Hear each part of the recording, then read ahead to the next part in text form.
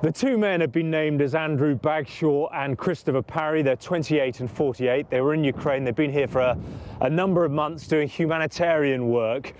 They left a place called Kramatorsk in the Donbass on Friday morning, and it's thought that they headed to uh, Soledar. It's about 80 kilometers away, and they were reported missing on Saturday evening. Now, Ukrainian police are extremely worried for their safety because the fighting has been most intense uh, in and around the Soledar area. It's very close to Bakhmut.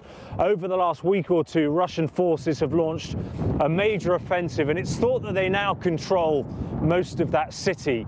I was in Soledar a couple of months ago, and the fighting then was extremely fierce. We could hear the sound of explosions all around us as artillery duels went on between the Ukrainians and the Russians. There was only one route into the town. Now, the Russians, uh, it's thought, are trying to control Soledar because it's to the north of Bakhmut, and if they if they manage to seize it, they can cut off uh, communication and supply routes to the Ukrainian forces uh, in Bakhmut. But uh, because these men uh, haven't been heard from now for several days, there is great concern for their safety.